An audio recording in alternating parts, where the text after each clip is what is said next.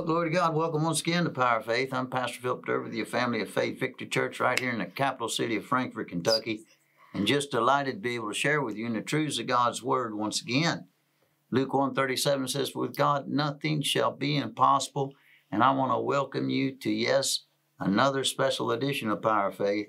It's testimony session time. And I have in the studio a very special person to me. She's dear to my heart and I've been in love with her for years. My wife, Alberta Derber. Alberta, Hallelujah. my love of my life. Oh my. Welcome.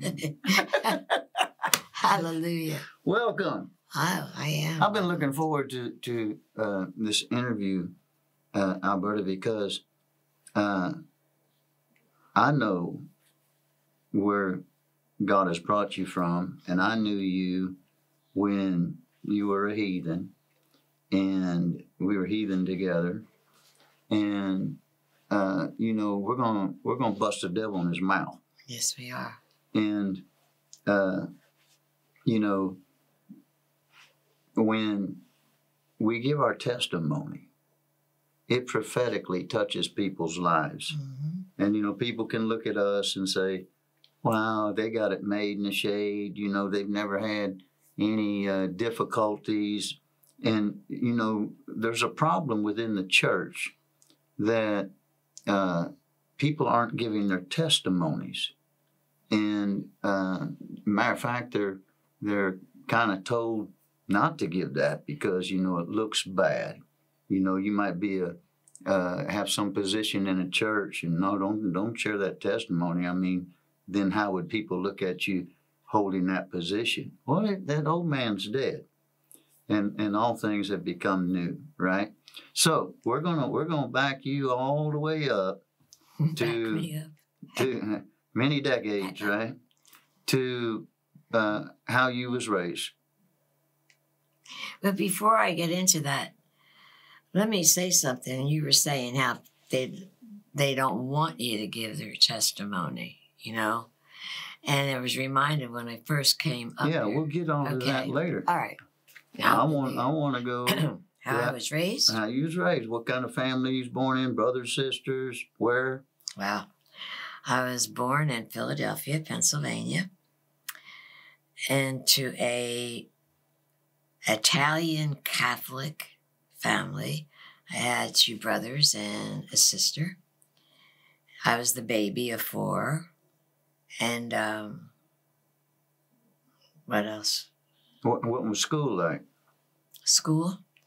I went to 12 years of Catholic school, grade So- school and high school. So- nuns. I had nuns back then. I don't even think any exist anymore. I'm not sure. So you you you uh, were raised in, in uh, Philadelphia. Yeah. Uh, the baby before. Your mom and dad, what were they like? Very precious people. They were just what you would call good people, Mhm. you know. Um, they were Catholic. Uh, My dad didn't really go to church all that much. We always were in church.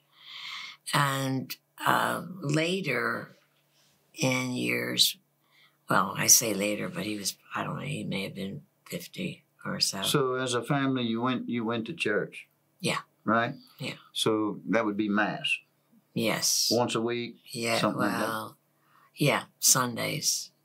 And then when they had like Special thing. special services, yeah. And So what was growing up in in Catholic school like?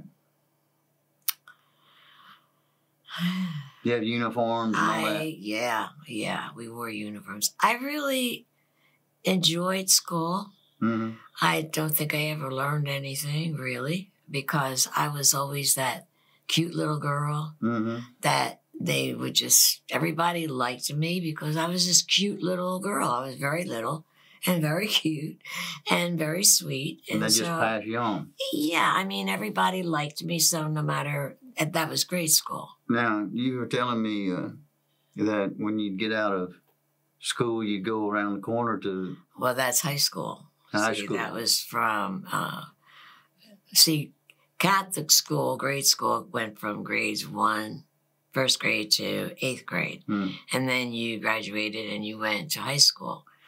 And my high school was West Catholic Girls High School, all girls. And it's right near the bandstand. It was right around the corner from band, American Bandstand. Dick Clark's American Bandstand. Dick Clark, Bob Horn, the two of them then way back. Okay. And um, we were told we weren't allowed to go. But I don't know what year it was that I started going. I think you had to be a certain age back then. And one of your best friends was one of the main dancers, Yes, yes. right? Carol Scaldeferri, she was like a star till Mhm. today. I mean, she's in heaven right now. You can go on YouTube and, and, Yes, and see the interviews with her and so on and so forth. Mhm. Okay. So, uh, any boys in your life through all this time? Yeah, from the time I was 13 years old, I fell in love with a boy, uh, Jimmy, and we were boyfriend and girlfriend till 21. We were going to get married. But he broke up. He, well, we broke up, you know, off and on in those years. hmm Uh, but uh, I had a drinking problem because around, How did you start drinking? I don't know, everybody just started drinking. I would, you know, It was just part of life. in a way, my nobody in my family drank. Now you had a grandfather that drank. didn't Oh, my grandfather. Well, yeah, that's right. My grandfather used to make wine. He was an alcoholic. Beautiful man, beautiful, always in church. Did lots of things for the church. Built chapels. Did things for Catholic orphanages. A wonderful But he give you a little wine every now and then. Well, he mostly didn't give me when I was a little girl. I used to go down to his wine cellar and open it, open the thing and drink it. It was, But nobody ever knew that. I don't think. I don't know why I even So- remember that. But he, he A Yeah. drinking problem is, I Uh, would you- get drunk immediately. yeah, yeah. Now, how old was you when when that was going on? Well, that's I don't. I really don't remember In your a whole teens. lot. Yeah, In my late teens. teens. Now- late teens, not early. Now, teens. you, you told me as a little girl that you would sit in front of the television and watch Kathryn Kuhlman. I can still see me doing that. Uh, Kathryn Kuhlman's ministry was out of Philadelphia, if I recall I right. guess, yeah. With the I TV program and everything. I don't actually. The Lord showed me that, and I remember her so much. Uh, excuse me, but my parents they didn't know anything about, you know, like um, evangelist or Mhm. they didn't know any of that stuff. We didn't have that in the Catholic Church back then, and I the Lord showed me that as a little girl, I would take one of the. I saw myself taking one of the dining room chairs for some reason, and I'd put it right by the dining room. You know, Mhm. the living room that had that archway, Right? and I would sit there and I see me watching TV and Kathryn Kuhlman, and I just was fascinated with her. She was not an attractive woman at all, but she was really dramatic. Yeah. And I think that must be what I liked first. But I was drawn to what she was doing. By the Spirit, yeah. Yeah, the healing Mhm. and how she called on the Holy Spirit. That was happening to me uh, with Oral Roberts.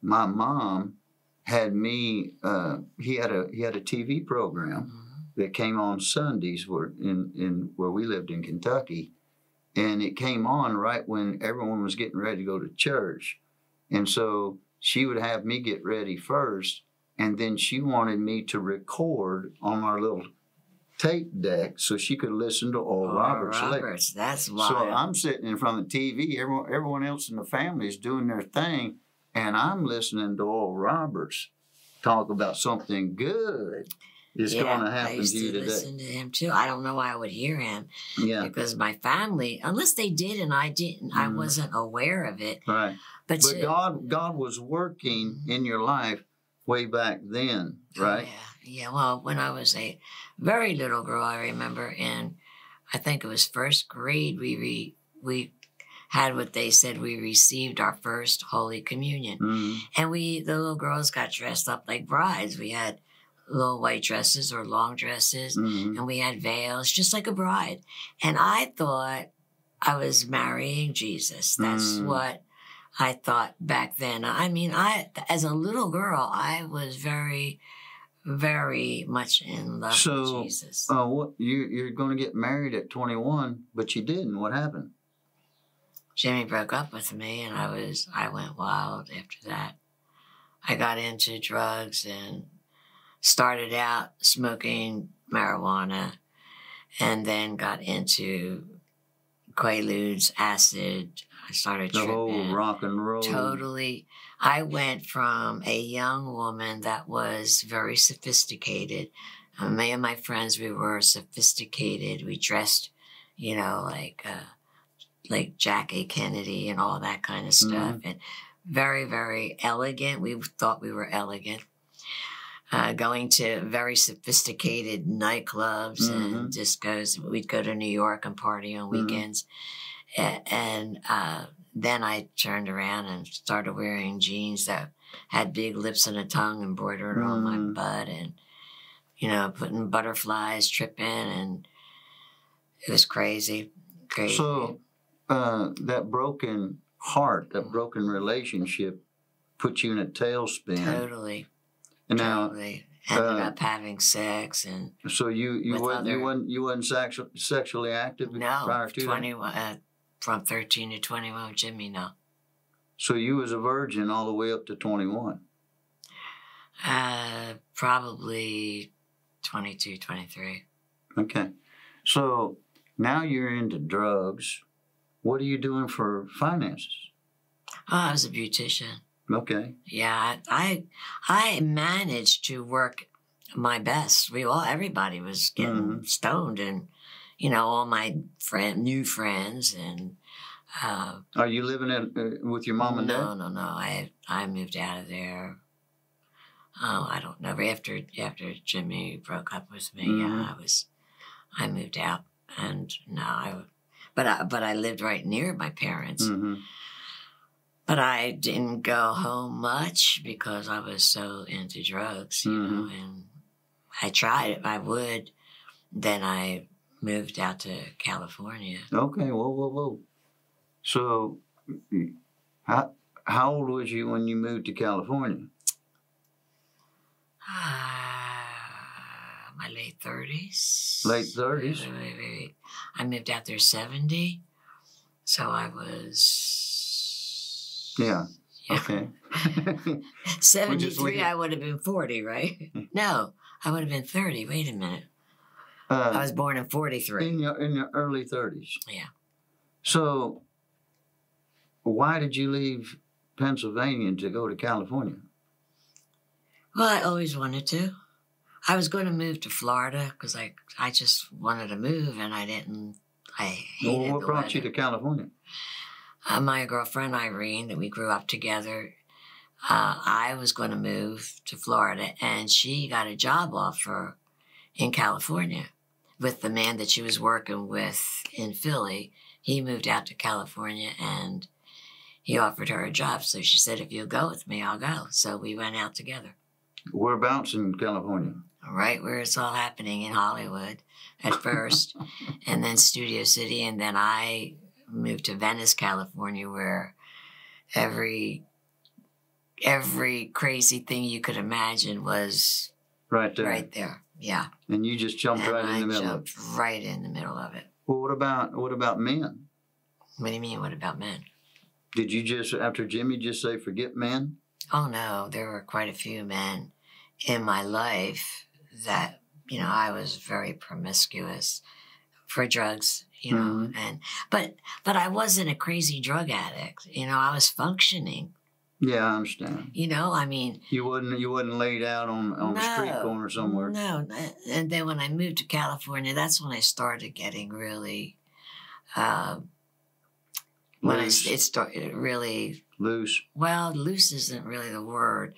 That's when I was uh, really starting to get to be a drug addict, bad, you know. So, are in But I fell having love with it. relationships with men, did you ever get pregnant? I did in Philadelphia. You did in Philadelphia. Yeah, I did in Philadelphia, three times. In Philadelphia, Mm, Oh yeah, before you went to California. Oh yeah. Okay, so what did you do with your pregnancies? I aborted them, Hmm. which was horrendous for me. I never thought I'd ever have sex with a man before marriage. I Mhm. mean, that's how I was raised. hmm And that's how I thought. It's not Mhm. that my parents said that or the church said it.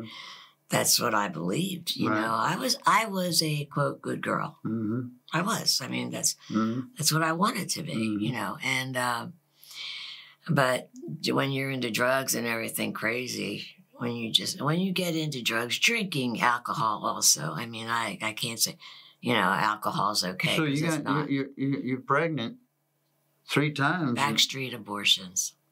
Well, they weren't legal. they didn't have no abortion clinics, No, they didn't have big posters. Pregnant, need help. Call us. billboards. Billboards. Yeah, I say? posters. Billboards. Yeah. So And you what- couldn't find it in the yellow what did those abortions? How did they affect you? Oh, they're horrendous. Not, you know, uh, first you have to find an abortionist. And like I said, you don't go in the yellow pages, you know. Mhm. And I don't even know. I had a friend that knew somebody, and Mm. that's how you go. And the and the women were very very nice to you. They they're not, you know. Mhm. Uh, one doctor was goofy, but uh, that first woman told me, she said, I will see you again. And I said, never. Even though she was very nice, Mhm. she said, I will see you again. Well, I didn't go back to her. it's like, uh, but when you have one, you're going to have more than one until you will have more than one. I'm sorry. That's In that, if you're in that lifestyle of and- craziness. yeah, yeah. and drugs, And if you, I mean, I had to come up with the money all the time. yeah. So you're That's really crazy. you're in California with your girlfriend in Hollywood. In in you you go from having three backstreet abortions uh, to uh, living in Hollywood slash Venice, and uh, you're living you know the uh, the crazy hippie uh, a lot of uh, Jesus you know, in the '60s, the Jesus movement and all that was rolling, and and uh, people were coming out with "Burn Your Bras" and "Free Love," and Yeah, I did that. and, and oh, you did that, and I and I didn't burn them, but I went yeah, without it, and I should have never. and and so you're you're in that scene. Where where's you know where's the little girl that was sitting in front of the television watching Kathryn Kuhlman? Where where's God? Are are you praying from time to time? Are you calling out to to Him? All the time, all the time. It's because I had a lot, so especially when the drugs got really bad in my life. Mhm. Um, I went through a lot of really bad stuff when I lived in. I had a boyfriend that was constantly throwing me out Because of the drugs. Yeah, I had. Uh, I was so, so raped. thrown out. So uh, that means I- you were living Uh, together. yeah, And did you say you were raped? I was raped when I was in California, and I heard God. I I can't say I heard Him audibly, hmm but it was as clear as could possibly be. In the midst of being raped, He said, "Just keep quiet and stay still, and you'll be all right." And that's exactly what happened. Wow. Yeah, that was pretty uh, intense because this this guy, there was I don't know if it was that guy, but there was a rapist going around and he would chip at the women's bodies with a razor blade as he's as he's raping them. That didn't happen to me. Mm. Like I said, I don't know if it was that man, but when I heard God, I mean, I could I could still see it right Mhm. now. hmm You know, I don't go back there. Like tripping me out even going through this testimony right now. hmm So uh, you're you're you're you're calling out to God, but you're a full blown alky drug drug addict. You Right. know, you know, there's times when I remember one night in uh, in my apartment, one of my apartments, I uh, must have fallen asleep and had the little television on that I had, and uh,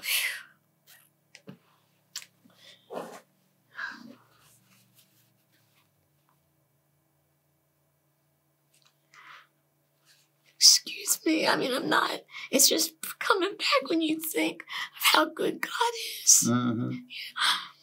One night, I mean, this was nothing. It was one of the times that my boyfriend had thrown me out and I was in my own apartment.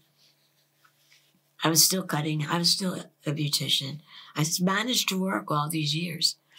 And I, I was, I had, must have fallen as or nodded out, like we all know what nodded out Mhm. means. And I woke up because I was burning my leg with my cigarette. Mm-hmm. And when I woke up, the 700 Club was on. Pat Mhm. Robertson. This is years back. Mm-hmm. And I remember listening to him, and my heart always went out. Mm-hmm. And I always probably said whatever prayer, you know, but never did anything Mhm. about it, never called anybody or Mm-hmm. like they tell you to call in.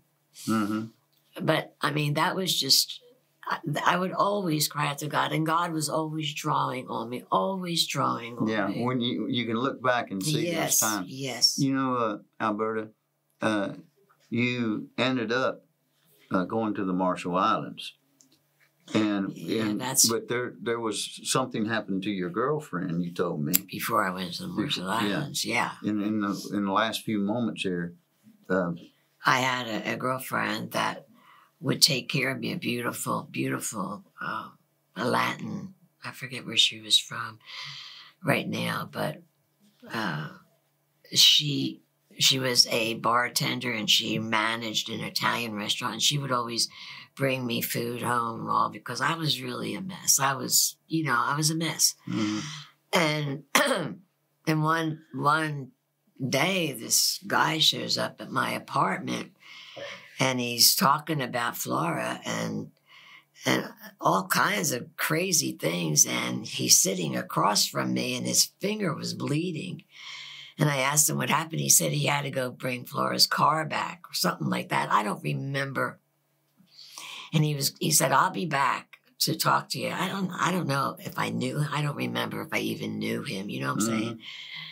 And but it was strange. I asked him what happened to his finger. I, I don't even know what he said. But I find out in between that the Flora was murdered. I don't know how I even I don't remember. I mean, this stuff is And you know, this is one of your best friends my best friend. is, is murdered, and probably the killer is right That there. was him. yeah. Okay, it was him.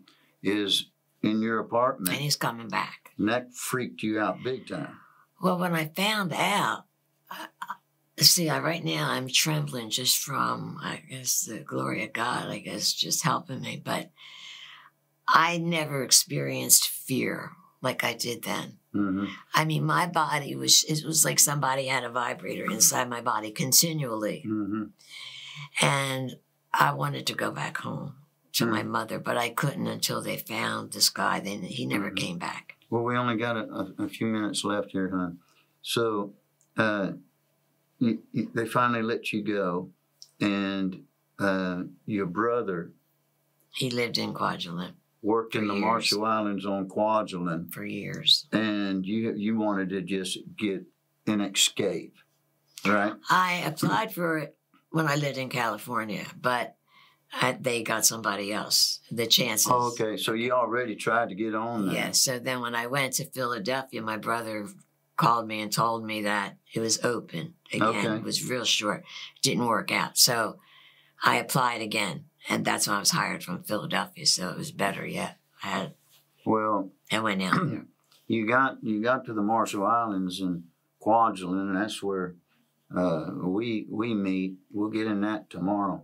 But Alberta, we we only got a little time here. There's people watching right now that are hurting, that have been through abortions, been raped, been their life threatened, so on and so forth. Just just take a few moments right there in that camera and minister to them. Okay. I was thinking about this this morning. There's so many people out there hurting. You're all out there hurting. Christians, whatever. But so many, many young people and older people don't even know sin because they don't know God.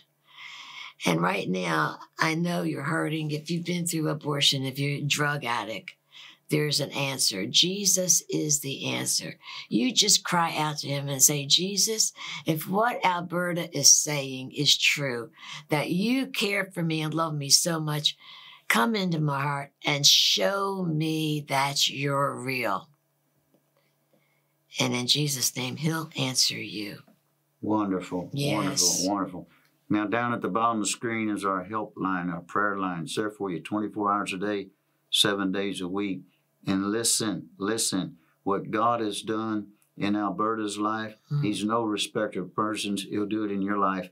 Those prayer ministers are standing by to pray with you and for you. you don't have to live in depression. You don't have to live in shame and regret and, and addiction the rest of your life. Jesus is the answer. Yes, He is. And uh, tomorrow, you don't want to miss tomorrow's program and see how God really invades Alberta's life. Mhm. We'll see you tomorrow. Ecclesiastes chapter 8, verse 4 says, Where the word of a king is, there is power. Be a blessing. The Power of Faith programs are available on YouTube 24 7, so you can watch from anywhere at any time.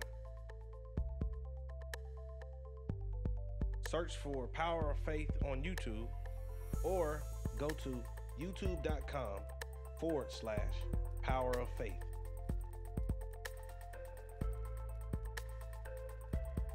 Subscribe and click the bell to make sure you're notified whenever new episodes are posted.